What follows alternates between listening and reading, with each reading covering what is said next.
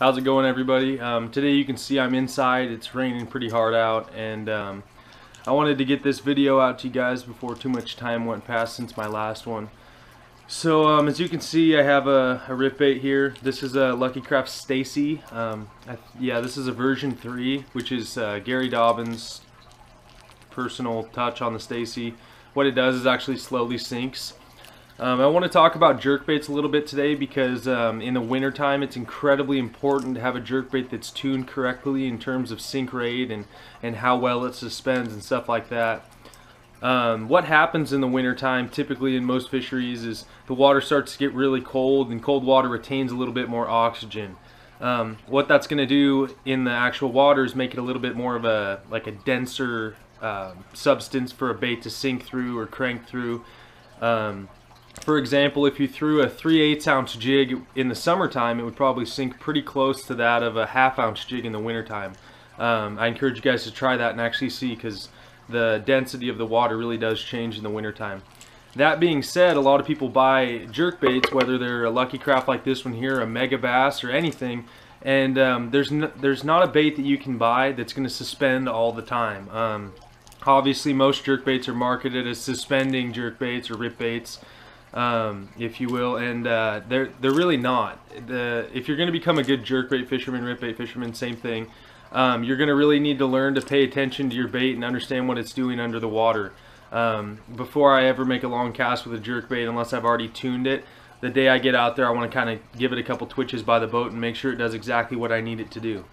Um, all that being said, in the summertime it's not as critical, but in the wintertime I do much better on a jerkbait that sinks. Um, this bait here, the Gary Dobyns version 3 Staysee, comes out of the package to slowly sink for that same reason. Um, stock on this bait I've caught pretty good success. Um, I mean in, in the middle of winter when the water temperature here in Oregon is in the mid to upper 30 degree range. So really, really cold water. I'm catching largemouth too. So that really is a testament to this bait and Gary Dobyns's, um, you know take on it for wintertime fishing. I really like the bill angle of this because if you jerk most rip baits, they're going to either dart left or right. Something like a, um, let's see what we got here. I got a pointer right here and you can see it's got a kind of like a, a fairly shallow bill on it. A bait with a bill like that is going to really have a lot more left to right movement than a bait with a bill like this Staysee here. Um, my favorite approach for fishing this bait isn't a really hard jerk. It's just kind of like a slow pull and then maybe a pop at the end for fishing largemouth. Um, spots and smallies and stuff like that, I'll fish a little bit more erratic. But if I'm fishing largemouth in the dead of winter when it's so cold that I really shouldn't even be out there, um, I have pretty good success just kind of slowly sweeping it and popping it at the end. Sweep, pop, maybe one little jerk. Um, I don't want the fish to have to track that bait incredibly far. And then the most important thing, if you ask me, I get a lot of bites on the fall or um, on the pause. Well, it ends up being the fall because I like to mod my baits to slowly sink. Um, me and a buddy were out last year and we were fishing the same bait. They were both Jackall Squad Minnows. And um, 115 same color and he was just really catching like three to my one. Um, and upon further inspection, I noticed that his bait had a crack and it had taken on some water and it was actually slowly sinking. I put on a bigger hook and we took turns catching fish for the rest of the day. Probably ended up with something like 40 fish. And this was in late December here in Oregon. So that's a really staggering number, really successful day, up to, you know, five and a quarter pounds. So good sized fish. Um, not necessarily for this bait, but any jerk bait you wanted to try to get to really slowly sink or get that perfect suspend.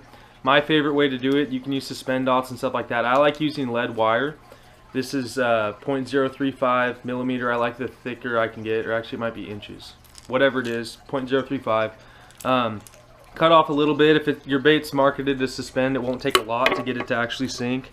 Um, I just trimmed off a little bit. I probably won't need this much. I like to slip it in there through the eyelet of the treble hook and then just wrap it around the shank of the hook. I like using this method a little bit more than suspend dots and stuff because it's I can modify my baits on the fly a little bit better.